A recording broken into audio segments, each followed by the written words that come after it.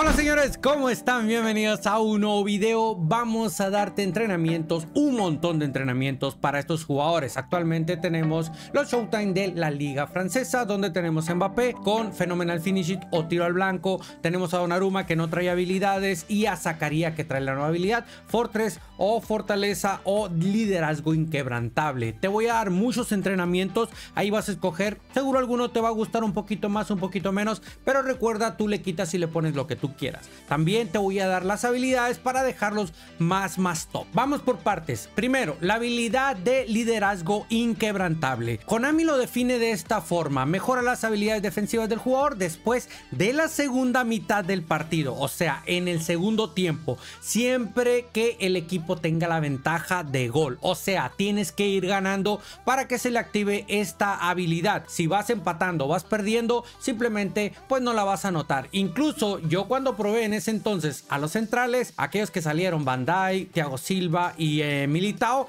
nunca la detecté. Así que bueno, aquí te la voy a dejar igual. Según Konami existe. Para mí esta habilidad es de muy dudosa, pues digamos que funcionamiento, ¿no? En el caso de Mbappé, tiene tiro al blanco o fenomenal finish, no sé si exista otra traducción en español de España, dice, aumenta la potencia y la precisión de los disparos a puerta desde posiciones corporales poco ortodoxa. ¿Qué significa esto? Que aunque Mbappé no, está, no esté bien acomodado o bien perfilado hacia la portería, te va a sacar un disparo con precisión y con potencia. Así se esté cayendo, así esté de espalda, o sea, como esté el cojo te va a tirar y va a ser muy con muy alta probabilidad de que esa, ese disparo pues sea gol o mínimo vaya a portería y ponga en dificultades al portero, ¿ok?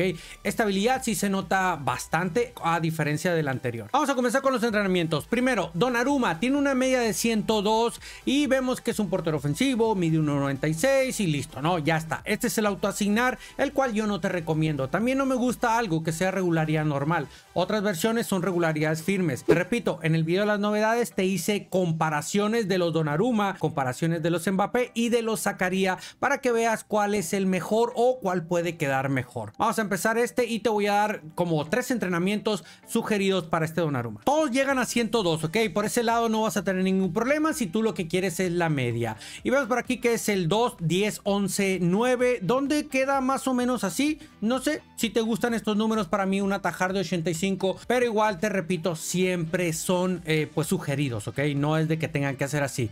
El segundo entrenamiento tenemos esto igual, se mantiene en una media 102 y ya al atajarlo subimos a 88. A diferencia de este, pues le tuvimos que quitar lo que es el desviar y actitud de portero para poderle dar un poco más de atajar. Finalmente, esta otra versión de 102, donde ya atajar pues tiene 87 y ya le subimos un poquito actitud de portero. Recuerda, siempre son sugeridos. Vamos con Zacarías, el cual tiene una media de 100. Este es el autoasignar, donde defensivamente queda muy, muy bien. ¿eh? Tiene buen pase, control, velocidad. Me queda dudas ahí un poquito la resistencia, pero ahorita te voy a dar un montón de versiones también diferentes, ¿ok?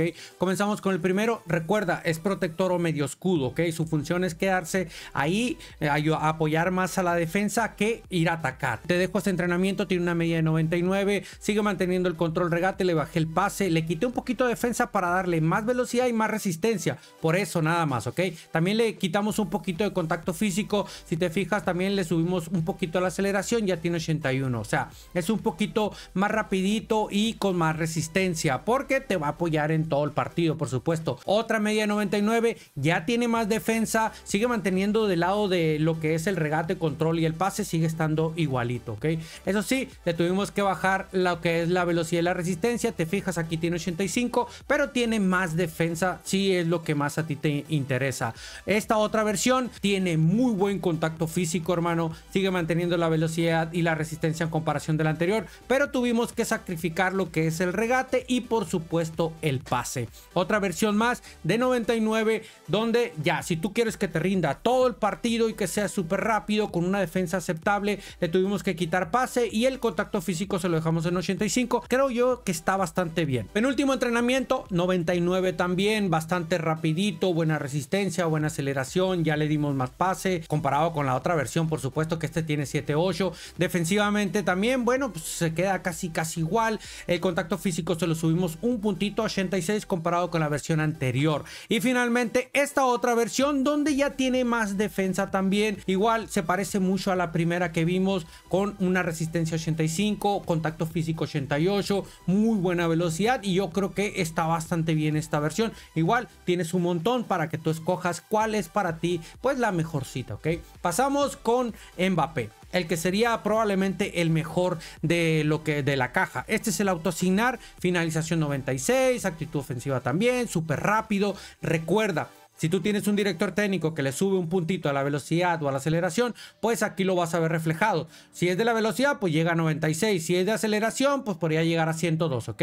Este tiene una media de 104, chicos. Ojito, tenemos esta otra versión. Eso sí, de los Mbappé te voy a poner un montón. Seguro alguna te va a gustar. Le bajé la finalización, sí. ¿Para qué? Para darle más control, regate y conservación. Sigue siendo súper rápido. La resistencia, ojo a la resistencia. Tiene 81 de y ya vemos que aquí le tuve que dar por ahí, pero le subí solamente 83 con muy buen equilibrio. La potencia de tiro 86. Ahí es donde me queda un poquito de dudas. Otra versión de 104, chicos. 98 de velocidad, aceleración, muy buen equilibrio, buena finalización, buen regate, buen control. Pero si la conservación, digamos que está límite, eso sí, tiene un poquito más de resistencia. Otra versión de 103 más rápido. O sea, este es un velocista, pero sin perder, eh, sin perder el detalle de lo que es la, el regate y, la, y el control. Lo que no me gusta es, es la conservación.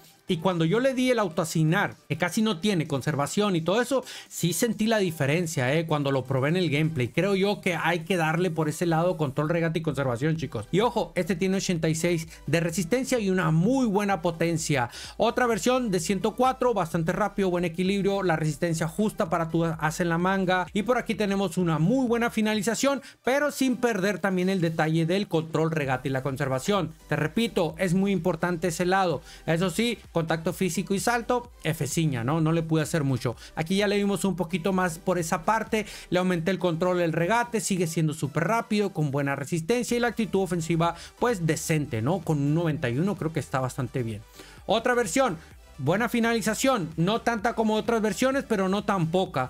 Igual también súper, súper rápido, por ahí con buen equilibrio, resistencia justa, control, regate. Ahí es donde hay que enfocarse mucho porque a veces los jugadores pues pierden muy fácil el balón o no lo pueden controlar cuando le das un pase, cuando quieres hacer un dos toques y disparar. Ahí es donde se le nota bastante. Esta versión de 103 con una finalización de 90. Ojo, no importa que no tenga 96 de finalización. Te va a finalizar, mi hermano. 90 yo creo que es un buen número. Excelente control, regate, actitud ofensiva, muy rápido, buen equilibrio, resistencia 84, justa, le puedes dar delantero liberado para que no se te canse tanto. Recuerda que tenemos instrucciones individuales. Igual te subí un videito con las instrucciones individuales explicadas a detalle por si lo quieres ir a checar. La potencia 88 me agradó, ¿eh? No está nada mal. Otra versión, 104, un poquito más de finalización, sacrificamos la conservación, pero sigue estando bastante bien lo que es ahí con 88 muy muy rápido, equilibrio, resistencia, potencia también. Otra versión 104 chicos, por ahí una conservación un poquito más abajo, un 84, no me agrada mucho, pero bueno,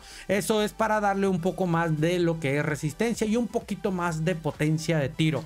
103. Aquí ya va un poquito más como para correr, pero con un poquito de regate, un poquito de control. La conservación no me gusta, mucho más resistente. Tal vez lo puedas utilizar como extremo, aunque este tiene muy buena finalización de 94. Y ya para terminar, antes de pasar a ver las habilidades, te voy a dejar nada más este entrenamiento de Mertels que me gustó con 102 de media. Ojo, recuerda, hay que llevar 23 jugadores de la Liga Turca para que tenga estos números, ¿ok? Simplemente te voy a dejar este porque creo yo que es el que se me hizo mucho más interesante de aquella cajita. Ya para despedir pasamos a las habilidades. Aruma, pues mira, yo no le pondría otra cosa más que espíritu de lucha, nada más. Pero para que te salga esa habilidad, recuerda que se la tienes que dar a puros porteros para poder hacerle el traspaso de pericia o de talento o dárselas directa y ahí es donde puedes perder un montón de habilidades. Por lo tanto, yo no le daría habilidades. En el caso de Zacarías, solamente le pondría yo un pase en profundidad, una entrada deslizante y tal vez una superioridad aérea. Nada más, ¿ok? Yo creo que con eso ya queda perfecto. Finalmente, Mbappé. Aquí sí ya te lo dejo a decisión. Son varias habilidades lo que le puedes poner. Uno es amago por detrás y giro bicicleta, son las de regate por decirlo así. Si le quieres poner, por ejemplo, de finalización, disparo ascendente o disparo descendente o tal vez tiro con empeine. Pero habilidades fundamentales para mí, para este Mbappé sería centrito con rosca, pase primer toque, tal vez un pase en profundidad, un pase cruzado, un espíritu de lucha. Como te fijas, hay un montón de habilidades que ponerle, pero al final pues tú vas a decidir cuáles son las más importantes para ti. ¿Cuáles le pondría yo? Centrito con rosca, disparo ascendente, espíritu de lucha, pase primer toque y pase profundidad. Para mí esas son las indispensables. Y eso es todo, señores. ¿Qué te parecieron los jugadores? Creo yo que son tres jugadores bastante buenos, bastante top. Si valdría la pena o no, eso ya lo voy a dejar a tu criterio. Yo no te voy a decir si lanzas o no lanzas. Pero de que son buenos, son buenos. Y sí, cuesta es una cajita de 150 jugadores, ¿ok? Yo que sí te puedo recomendar es de que no le des autoasignar, eh, entrénalos a tu gusto. Te di un montón de opciones para que veas que hay un montón de formas de construir a estos jugadores. Tú le quitas, tú le pones lo que tú quieras, ¿ok? Simplemente son sugerencias, pero simplemente te di muchísimas opciones para que veas que pueden quedar bastante bien los jugadores. Te repito, son jugadores muy buenos. Igual, si no te convencen, guarda moneditas porque probablemente se vengan más. Te subí varios hablándote sobre el tema de la nueva temática o de la nueva dinámica de Konami con los eFootball, con los eFootball, con los Showtime, con los nuevos jugadores en lugar de los fanshows, pero eso ya te lo hablé en otro video. Nos vemos a la próxima. Hasta luego. Bye, bye, bye.